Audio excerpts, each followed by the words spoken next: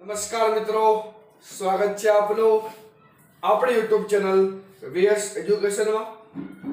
ગુજરાતી સાહિત્યના નવા નવા કવિઓ, નવા નવા સાહિત્યકારો આપણે સમજતા જઈએ. ગુજરાતી સાહિત્યની સફરે આગળ વધતા જઈએ. પરીક્ષામાં એક એક માર્ક આ કોમ્પિટિટિવ એક્ઝામમાં આપણે રોકડો કરતા જઈએ. તેમાં આજે એક નવા સાહિત્યકાર ઉમેરવા છે.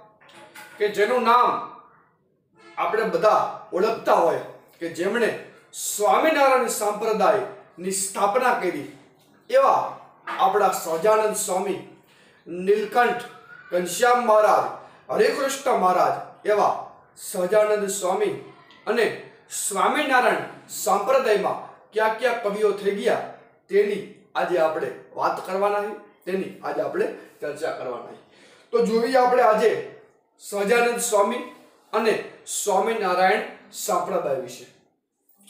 તો કે જન્મ થયો તો રામનવમીના દિવસે. તારીખ હતી આઠમી એપ્રિલ. આઠમી એપ્રિલ. પણ આપણને ન પૂછાય, તારીખ ન પૂછાય, આપણને પૂછાય કે સહજાનંદ સ્વામીનો જન્મ ક્યારે થયો તો રામનવમીના દિવસે. અને આપણા રામ ભગવાનનો જન્મ પણ ક્યારે? રામનવમીના દિવસે. એટલે જ આપણે કહીએ ને રામ નવમી નગર ખાલી નવમી કેત ને? આ તો ભગવાન રામનો જન્મ થયો. એટલે આપણે કહીએ રામ નવમી. બરાબર? પણ બીજી બધી નોમ હોય ને આપણે ખાલી નવમી જ કહેતા હોય. સ્થળ હતું આપણને ખબર છે કયું? છપૈયા. ક્યાં આવેલું છે? અયોધ્યામાં, જ્યાં ભગવાન રામનો જન્મ થયો હતો. બરાબર? તેવું જ આપણું અયોધ્યા. ક્યાં? યુપી. ઉત્તર પ્રદેશમાં તે, બરાબર? મોટા ભાગના આપણા જે ભગવાન રહ્યા એ સ્વામિનારાયણ ભગવાન હોય કે પછી કૃષ્ણ ભગવાન હોય, તેમણે પસંદ કર્યું ઉત્તર પ્રદેશને. બરાબર? પસંદ કર્યું ઉત્તર પ્રદેશને. પણ કૃષ્ણ ભગવાન હોય કે આપણા સ્વામિનારાયણ ભગવાન હોય, તેમણે અંતે જો કોઈ જીવનનું કર્મભૂમિ બનાવી હોય, તો કર્મભૂમિ આપણે ગુજરાતને જ બનાવી તે આપણને બધાને ખબર. એટલું આપણે ગુજરાત ભગવાનને પણ વાલું લઈ ગયું વિચાર તો કરો મિત્રો. આપણા ગુજરાતમાં એવી કેવી મીઠાશ હશે? જે ભગવાનને પણ જે સ્થળે પસંદ કરવું પડે, ભગવાનને પણ જે સ્થળે પોતે રોકાવું પડે એવું આપણું સ્થળ, એટલે ગુજરાત. આપણને ખબર છે કે કૃષ્ણ ભગવાન જે હતા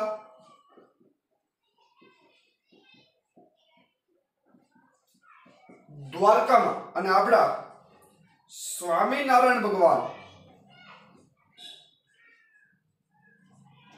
તેમણે પસંદ કર્યું હતું આપણું ગઢડા, કે ગઢપુર જોતા. મને શ્રીજી સાંભળે. એવું આપણું ગરડા. બરાબર? જન્મ થયો તો રામનવમી, ક્યાં? છપૈયા જિલ્લો પૂછે તો અયોધ્યા. અત્યારે જિલ્લો અયોધ્યા. રાજ્ય પૂછે તો ઉત્તર પ્રદેશ. મૂળ નામ હતું ઘનશ્યામ પાંડે, યાદ રાખવાનું. મૂળ નામ ઘનશ્યામ પાંડે. માતા, ભક્તિ અને પિતા ધર્મ કુખે પણ જન્મો તો ઘનશ્યામ પાંડે. મૂળ અટક યાદ રાખવાની એ કઈ છે ઘનશ્યામ પાંડે. યાદ રાખવાનું કેવી રીતે કે માતા હતી જેની ભક્તિ અને પિતા જેનો ધર્મ હોય, પછી તેમનું કાર્ય પણ શું હોય? ભક્તિ ભક્તિ ભક્તિ. એટલે પોતાને તે આ સહજાનંદ સ્વામી પોતાને તે ભગવાનનો અંશ ગણાવતા. સ્વામી, જેનો સ્વામી રહ્યો નારાયણ છે, એવા ભગવાન, સ્વામી નારાયણ ભગવાન. માતા, ભક્તિ અને પિતા ધર્મ ના કુખે કોણ જન્મ હતું? ઘનશ્યામ પાંડે. અને બાર વર્ષની ઉંમરે ઘર છોડી અને તપશ્ચર્યા અને યોગ સાધના કરતા, બાર વર્ષની ઉંમરે તે તપશ્ચર્યા કરતા અને યોગ સાધના કરતા કરતા નીલકંઠ બ્રહ્મચારી તરીકે સાત વર્ષ પરિભ્રમણ કર્યું. તમે કોઈક વાર આપણને ખબર છે કે અક્ષરધામ મંદિરે આપણે ગયા હોય કે પછી ગઢડા મંદિરે ગયા હોય, તો આપણને ખબર છે કે નીલકંઠ બ્રહ્મચારી બધા અલગ અલગ રાજ્યો હોય, બધા અલગ અલગ ગામડા હોય, તે ગામડામાં આપણા સ્વામિનારાયણ ભગવાન, એટલે કે નીલકંઠ, ભગવાન આપણે જાતા અને ત્યાં લોકોને ઉપદેશ આપતા અને અમુક જગ્યાએ તો આપણને ખબર છે કે આપણા ભગવાનને ત્યાંથી તગડી મૂકતા, ત્યાંથી કાઢી મૂકતા. એટલે બાર વર્ષની ઉંમરે ઘર છોડી તપશ્ચર્યા અને યોગ સાધના કરતા કરતા નીલકંઠ બ્રહ્મચારી તરીકે સાત વર્ષ સુધી પરિભ્રમણ કર્યું. અને અઢારસોમી સદીમાં, યાદ રાખજો, ક્યારે? અઢારસોમી સદીમાં લોજ ગામે સ્વામી રામાનંદ પાસેથી દીક્ષા લીધી અને સ્વામિનારાયણ સંપ્રદાય તરવાની પણ પ્રેરણા લીધી. કોની પાસે દીક્ષા લીધી આપણે યાદ રાખવાનું છે? દીક્ષા પૂછે તો કોની પાસે અથવા ગુરુ પૂછે? ગુરુ પૂછે તો કોણ? રામાનંદ સ્વામી. બરાબર યાદ રાખવાનું છે કેમ કે જો રામાનંદ સ્વામીનું આપણે સુલભ યાદ કરવા પડે, કેમ કે તેમને સ્વામિનારાયણ ભગવાન મળી ગયા બરાબર. જો રામકૃષ્ણ પરમહંસને સ્વામી વિવેકાનંદ મેળા ન હોત, તો આજે આપણે રામકૃષ્ણ પરમહંસને ન ઓળખતા હોત. બરાબર? ત્યારબાદ જો મોહનદાસ કરમચંદ ગાંધી બરાબર? એના ગુરુ ગોપાલ કૃષ્ણ ગોખલે, એટલે ગોપાલ કૃષ્ણ ગોખલેને જો મોહનદાસ કરમચંદ ગાંધી નો મેળા હોત તો આપણે આપણે, આપણા ગોપાલ કૃષ્ણ ગોખલેને પણ ઓળખતા ન હોત. બરાબર? એટલે યાદ રાખવાનું છે. અઢારસોમી સદીમાં લોજ ગામે સ્વામી રામાનંદ પાસે દીક્ષા લઈ લે. અને ખાસ આપણને ખબર એ શિક્ષાપત્રી ઉત્તમ ગ્રંથ આપણા સ્વામિનારાયણ ભગવાનનો બસો બાર શ્લોકો ધરાવતો અને દિનચર્યાનું વર્ણન કરતો. શિક્ષાપત્રી ઉત્તમ ગ્રંથ છે, યાદ રાખવાનો હોય શિક્ષાપત્રી સાથે સાથે બીજો કયો ગ્રંથ છે? વચનામૃત. જેમાં ભગવાને આપણને શું આપ્યા છે? બધા રોજ રોજ ભગવાન જે કઈ પોતાનું જ્ઞાન પોતાનું જ્ઞાન બધા લોકો સામે પીરસતા અને તેમાંથી જે તેઓ બોલતા અને તે બોલતા બોલતા આખો ગ્રંથ તૈયાર થઈ ગયો, એ આપણું હતું વચનામૃત. બરાબર? અને હારોહારે બીજો કયો ગ્રંથ? શિક્ષા પત્રી એટલે કે બસો બાર શ્લોકો ધરાવતો અને દિનચર્યાનું વર્ણન કરતો શિક્ષા પત્રી ઉત્તમ ગ્રંથ છે. અહીંયા લખી નાખું બરોબર? ક્યાં ક્યાં બે ગ્રંથ આપણે યાદ રાખવાના?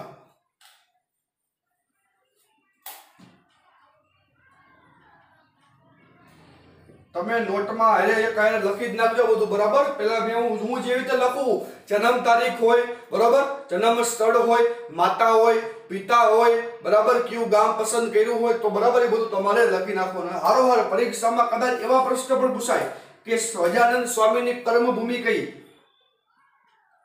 તો આપણું ગઢડા, ગઢપુર જોતા મને સ્થિતિ સાંભળે. પણ ગઢડા ખરું, પણ ગઢડાનો જિલ્લો પૂછાય તો કયો લખવાનો? બોટાદ બરાબર? ગ્રંથ કયા શિક્ષાપત્રી અને વચના? મૃત. બરાબર? યાદ રાખવાને. ગ્રંથ શિક્ષાપત્રી અને વચનામૃત. અને કર્મભૂમિ પૂછે તો ગદલા અને જન્મ ક્યાં થયો તો? તો કોઈ છપૈયા. પણ છપૈયાનો જિલ્લો કયો? અયોધ્યા. અયોધ્યાનું રાજ્ય પૂછે તો ઉત્તર પ્રદેશ બરાબર? અને ગાંધીજીના આશ્રમમાં? સ્થાન પામેલા ભજનોની રચના કોણે કરેલી છે પ્રેમાનંદ સ્વામી? બરાબર યાદ રાખવાનું હોય આ પ્રેમાનંદ સ્વામીને સહજાનંદ સ્વામી ક્યાં નામે ઓળખતા હતા તો કે પ્રેમ સખી? યાદ રાખજો. સહજાનંદ સ્વામી, આપણા પ્રેમાનંદ સ્વામીને શું કહીને ઓળખતા હતા, શું કહીને બોલાવતા? તો કે પ્રેમ સખી કહીને બોલાવતા. ત્યારબાદ સ્વામિનારાયણ સંપ્રદાયમાં આઠ નંદ સંતો થઈ રહ્યા. તેમાં પદોની બાબતમાં બ્રહ્માનંદ સૌથી આગળ છે. યાદ રાખજો, બ્રહ્માનંદ ચારણ કુળના ગઢવી, બરાબર? મૂળ નામ લાડુદાન. બરાબર? આખી વાર્તા વાર્તા છે એની, લાડુદાનજીની. પણ અત્યારે આપણી પાસે ટાઈમ નથી. અને વીડિયો બહુ લંબાઈ જાય એટલા માટે હું તમને વાર્તા કહેતો નથી, બરાબર? પછી તમને જોવામાં કદાચ કંટાળો આવે. જો વાર્તા કદાચ સાંભળી હોય, લાડુદાનજી એટલે કે બ્રહ્માનંદજી નામ કેવી રીતે થયું અને બ્રહ્માનંદ સ્વામી, આપણા સજાનંદ સ્વામીને કેવી રીતે મળ્યા તેની પણ વાર્તા ખૂબ જ રસપ્રદ વાર્તા. એ બધી વાર્તા આપણે પછી તમે કહેશો તો આપણે વાતો કરશો. અત્યારે વાતો કરવી નથી. એટલે કે સ્વામિનારાયણ સંપ્રદાયમાં કેટલા સંતો થઈ ગયા? આઠ નંદ સંતો થઈ ગયા, પણ તેમાં સૌથી આગળ કોણ? બ્રહ્માનંદ. કેમ કે કોણ હતા ઈ? ચારણ હતા. ગઢવી હતા. બરાબર? એટલે સ્વાભાવિક રીતે તેમની પદો લખવાની જે કૌશલ્ય હોય, પદો લખવાની જે પોતાની કળા હોય, બરાબર? તે કળા આપણા બ્રહ્માનંદ સ્વામીમાં હતી તેના કારણે આપણે કહી શકીએ કે સ્વામિનારાયણ સંપ્રદાયમાં પદોની બાબતમાં, બરાબર, સૌથી આગળ કોણ? તો કે બ્રહ્માનંદ સ્વામી. બ્રહ્માનંદ સ્વામી ચારણ જ્ઞાતિના હતા. અને પિંગલ શાસ્ત્રનો અભ્યાસ કર્યો તો યાદ રાખજો. પિંગલ શાસ્ત્રનો અભ્યાસ કર્યો તો બ્રહ્માનંદ સ્વામીએ, બ્રહ્માનંદ સ્વામી એવું કહેતા કે કદાચ જો જ્ઞાનની બાબતમાં ખુદ ભગવાન મારી સામે આવે તો એ ભગવાનને પણ હું સાક્ષાત્કાર કરાવું. ભગવાનને પણ હું મારી સામે આવે તો ભગવાનને પણ હું હરાવી દઉં. એવા બ્રહ્માનંદ સ્વામી આપણને એવી બધી વાતો કરતા. પણ પહેલા એ નામ કેવું હતું? લાડુદાન હતું ત્યારે આ બધી વાતો કરતા. ટૂંકમાં તમને વાર્તા કહી દઉં હવે. એટલે લાડુદાન નામ હતું ત્યારે આ બધી વાતો કરતા. પણ કોકે આવીને કીધું કે ભાઈ, આપણા કોક સહજાનંદ મહારાજ ગઢડામાં આવ્યા બહુ ભક્તિની વાતો કરે. પછી ત્યાં જાય અને પછી પોતાનું જે કોઈ પોતાની પોતાનું સમર્પણ, પોતાની જે કોઈ પોતાની આવડત આ સહજાનંદ સ્વામી પાસે અર્પણ કરી દે. બરાબર વાર્તા પછી હું તમને કહીશ. ત્યારબાદ સહજાનંદ સ્વામી ગુજરાતી મધ્યકાલીન સાહિત્યમાં શ્રેષ્ઠ સાહિત્યકાર છે પણ કેવા શ્રેષ્ઠ સાહિત્યકાર? ગદ્યની બાબતમાં. બરાબર યાદ રાખવાનું. શ્રેષ્ઠ ગદ્ય સાહિત્યકારે સહજાનંદ સ્વામી ગુજરાતી મધ્યકાલીન સાહિત્યમાં શ્રેષ્ઠ ગદ્ય સાહિત્યકારે કેમ કે બે ગદ્ય ગ્રંથો આપણને આપે કે એક ગદ્ય ગ્રંથ વચનામૃત અને એક પદ્ય ગણાય શિક્ષા પત્રિક. કેમ કે એમાં બસો ને બાર શ્લોકે. ત્યારબાદ સ્વામિનારાયણ સંપ્રદાયના અન્ય કવિઓ ક્યાં ગયા? તો કે દેવાનંદ દેવાનંદ સ્વામી, મુક્તાનંદ સ્વામી, નિષ્કુલાનંદ સ્વામી, બ્રહ્માનંદ સ્વામી અને પ્રેમાનંદ સ્વામી. આવા, આવો આપણો સ્વામિનારાયણ સંપ્રદાય, આવા આપણા સહજાનંદ સ્વામી, બરાબર? ફરીથી એકવાર જોઈ લઈ સહજાનંદ સ્વામી વિશે. જન્મ થયો તો રામનવમીના દિવસે સ્થળ હતું આપણું છપૈયા એટલે કે અયોધ્યા. રાજ્ય પૂછે તો ઉત્તર પ્રદેશ. મૂળ નામ ઘનશ્યામ પાંડે, જેની માતા ભક્તિ હોય અને પિતા ધર્મ હોય. ગુરુ હોય તો રામાનંદ સ્વામી જેવા ગુરુ હોય. ગ્રંથ લેખો હોય તો શિક્ષા પત્રી અને વચનામૃત જેવા ગ્રંથો લેખા હોય. પરમભૂમિ બનાવી હોય ગઢડાને અને બાર વર્ષ સુધી યોગ સાધના અને તપશ્ચર્યા કરતા કરતા અને બાર વર્ષની ઉંમર બધું ચાલુ કર્યું અને ત્યારબાદ સાત વર્ષ સુધી નીલકંઠ બ્રહ્મચારી તરીકે પ્રદક્ષિણા કરી હોય. ભારત ખંડ આખું ભયમાં હોય. અને અઢારસોમી સદીમાં ક્યાં આવ્યા હતા આપણા? લોજ ગામે. અને સ્વામી રામાનંદ પાસે દીક્ષા લીધી હતી. યાદ રાખવાનું છે? દિન, દિનચર્યાનું વર્ણન કરતો કયો ગ્રંથ? શિક્ષાપત્રી કેટલા શ્લોકો? બસો ને બાર. ગાંધીજીના આશ્રમમાં કોના ભજન રચના? તો કે પ્રેમાનંદ સ્વામી. અને કેટલા સંતો થઈ ગયા? આઠ નંદ સંતો થઈ ગયા. દેવાનંદ, મુક્તાનંદ, નિષ્કુલાનંદ, બ્રહ્માનંદ, પ્રેમાનંદ. બરાબર, મુક્તાનંદ આવા આઠ નંદ સંતો થઈ ગયા. પણ તેમાં સૌથી આગળ હોય તો કોણ? બ્રહ્માનંદ. ગમ ગમ ગમ ગમ ગમ ગમ ગમ ગમ ગમ ગુરુ, કમાગ તમ તમ તમ તમ તમ તમ તમ તમ તમ જાજર, કમાગ. બરાબર? એવા આપણા બ્રહ્માનંદ સ્વામી. બરાબર? ત્યારબાદ ચારણ કવિ આપણને ખબર? પિંગળ શાસ્ત્રનો અભ્યાસ કર્યો હતો.